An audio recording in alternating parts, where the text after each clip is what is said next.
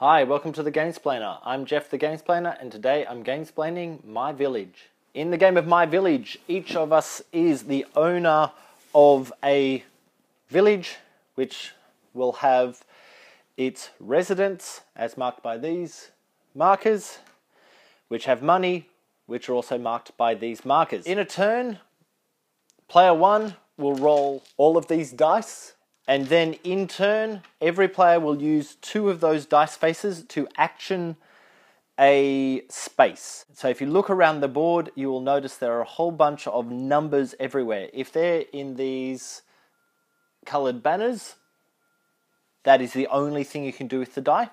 If they are white colored banners, you can do as many of the same numbered white colored banners that you have in your village as you like.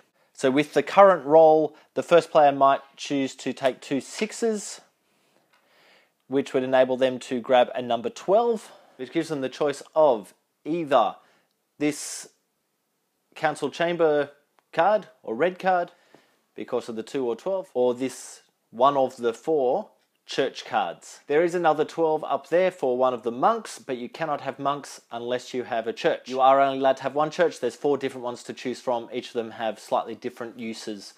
All of the council chamber cards are the same as in that stack just there. When something is selected, there is a time cost. One, two, three. So you're pushing this marker around the time track, and then that will be flipped over and placed next to its location. That will give this player four points at the end of the game. It also gives him a church, so he's able to start grabbing monks to add to that church. If he'd chosen to go with this one, he would get that marker, which is that banner, and that can be placed anywhere. So, for example, I can place that next to this banner. So now, whenever I roll a 2, a 3, 11, or a 12, I can action this space. That also costs 2 time. That will give him 1 point that's what one point looks like. And that goes on to this area here, which is called the story tree. That is not safe points at the moment. That's potential points. Flip this card over and then put a marker on it.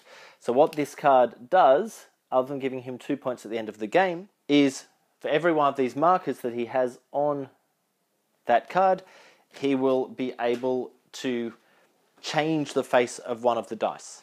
Other things that he could do with this particular roll is off the current situation. If he takes the two, he mm-hmm. can claim this two and that two. Of course, they're on the white banners. He gets to every two that's available, which is that one. So it's another ability to change a dice roll and adding one there. This area down the bottom is called the school, and this is where you're training up new people. So when people eventually die, you'll need to move people from the school into the location where they where they died from. That's right, your workers are going to die. This is why we're tracking time. So when I added one here, I would have taken an extra time. There is no time cost on this one. If I choose to go with two again, I would have to grab these two dice. The black dice cost you two time each, so they're like the like the black plague coming through your uh, your your village. So to claim those two, I would move this forward two for one of the dice and two again 1, 2. When I pass the bridge, the Grim Reaper goes over the top of that to remind me that I need to kill off one of my workers. Once again, I would action that, which would take another time. And now I have a choice down at the school. I can either shift this guy along to the second position, or I can pay a time to move him into one of the work spots. Now all the work spots are currently full, so I'd move him across. If I got a 3 or an 11 or 12 or a 2 again, I'd be able to add another one in there. Now, when I graduate someone from this location, it will cost me the time. So let's say that guy's gone. I'd move him there. I'd also gain two points onto the story tree. Now, why is that important? Because since the Grim Reaper is on the token or the token has passed by the bridge, I put the Grim Reaper back, I need to kill off one of my guys. If I kill off this guy, I'm not going to be able to use those tokens. If I kill off this guy, I won't be able to put any more monks into my church. If I kill off any of those three, I won't be able to bring in cards from those particular guys. So, for example, I might choose to kill off this guy. Because he's come from the red spot, he gets killed to the red spot, and that also gives me another two points to my story tree. Now, whenever I do that, I will now roll this grey die. I roll the die and move the rat along that many spots. One, two, three, four, five, six. And then that goes back on. So the next time someone dies, that will roll again and he will move forward. Once he gets into this spot, this is him coming in and eating up the stories. So it's a rat eating the stories. So anything, any points that are on the story tree, the rat eats half of them rounding down. So this player currently has five on the story tree. Two of those are going to get eaten, and then the rat goes back to his starting position. Notice there's a different starting position for two, three, and four players. So this is set up for a two player game. Now, the way that I could have stopped that from happening, or at least mitigated the risk of, of that, is I could use any of the two dice, so it doesn't really matter which, to move this guy forward to there. It will cost me a time. See, whenever there's that little hourglass marker underneath the number or the question mark, question mark means you can use any combination of numbers. Whenever you've got that hourglass marker, it means it costs you a time. If there's multiple hourglasses, it costs you multiple time. When I move my guy to there, I get one money. On the next time that I choose to do that, I might take that. Once again, it'll cost me a time.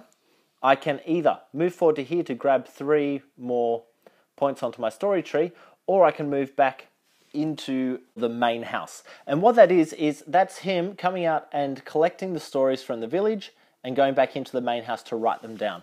So those points are now ongoing and existing points. If I were to take a 5 or an 8 on this particular board, and this is the pair of numbers that's different on every board, that could be used to add another one point story to the story tree to be able to be collected later. And you'll notice that didn't cost any time at all. If I were to roll a 4 or a 10, coming back up here to the main, to the main communal board, this allows me to bring a number of customers into my village. So it will cost me one time to bring one customer, two times to bring two customers, a money in two time for three customers, a money in three time for, for four customers. And I get to choose out of the six available on here. So I may choose to bring in uh, those two and this one as well. Let's bring in three. So if I bring those three customers in, I'll then replenish the stock of customers that are available for the next player. That would cost me two time, one, two, and one money, which is these guys. These customers are now waiting for me to be able to do the particular goods. So let's move up to here. This is the craft area. There are a lot of cards on this table you can notice. So the craft area is talking about these five different cards at the top of the of the table. In order to add these five cards or any of these five cards to my village, I would need to roll the number that is in the blue or black, I'm not quite sure. The rules keep referring to it as black, but my eyes see it as a very, very dark blue. So whichever one, I'll probably call them blue, but please forgive me if the rules say different. So if you were to claim an 8, that would mean that I could claim the beer maker, the wagon maker, a plow maker. So because my customers are looking for wagons, horses, and plows, most likely be trying to take a plow card. That will cost me two times. Then I flip it over and I get one marker. So, so I now have a plow that I am able to sell if I wish. So next time if I were to roll an 8, I would be able to take a point for the story tree because of this 8, plus create another plow, and that will cost me a time. And then because this has a question mark on it, I could then use the 8 to sell to this particular customer one of those plows. That would come off the board. That costs me one more time. This customer is now happy, and so we flip that over, and that will give me three points at the end of the game, and we create a pile of those, those customer cards to add up at the end of the game for points. The other two spaces I haven't dealt with are the travel space, which is talking about these five cards at the top of the table, you need to take these cards in order. So you take an A card, which will have between two and four points on the back of it and will cost you two time. You flip that over and add that to your travel line. If there's a banner in the top right corner, that is saying that for your next journey, you'll need to take a B card, which will have a cost on the back of it of time and horse or money. you'll also need to pay one extra money to be able to get that into your travel line. There are only five cards available A, B, C, D, and E. Some of the cards have a banner with an extra cost for you to be able to move on to the next area. One of the D cards has a picture of a church on it. When you get to the church, that is the end of your journey. If you get this card, you're not able to go on to E. Everyone else can go all the way to E and get five cards. Remembering every time you travel, there will be a, a time cost as well as a goods cost or a money cost. The only other card I haven't dealt with is the field card. The field cards don't need a worker, because you'll notice there's no spot for a worker to action them. You get them on an 11, they'll cost you a time, and you get one money when you take them. You flip that over, and that is a field. So whenever you roll an 11, you will be able to create a money. So I took a money when I took it and moved forward my time. If I take an 11, I can promote a guy from my school, which costs a time.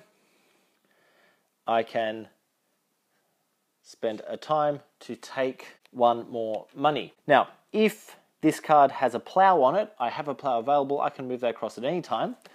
When I got my 11, that would actually give me a second money. We're almost through the game explanation. This is quite a long one. I haven't really gone into the iconography so much, um, but I think I've covered pretty much everything else. The only other thing that we have is the first player marker. At the beginning of every turn, before the dice are rolled, a one point is put onto the open hand of the first player marker.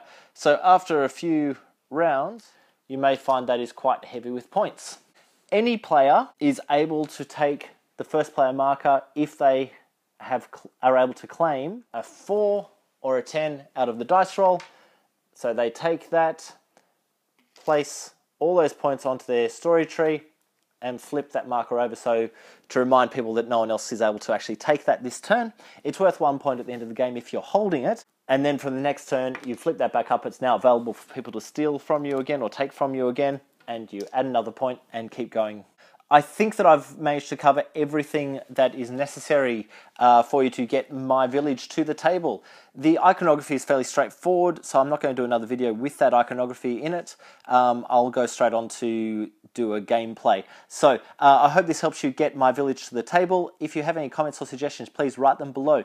If you have any games that you wish to be gamesplained, please shoot me an email at thegamesplainer at gmail.com. Follow me on Instagram and Twitter at the Gamesplainer to see what games I've been playing. Subscribe to my videos to keep up to date with the games that I'm gamesplaining. And until next time, enjoy gaming.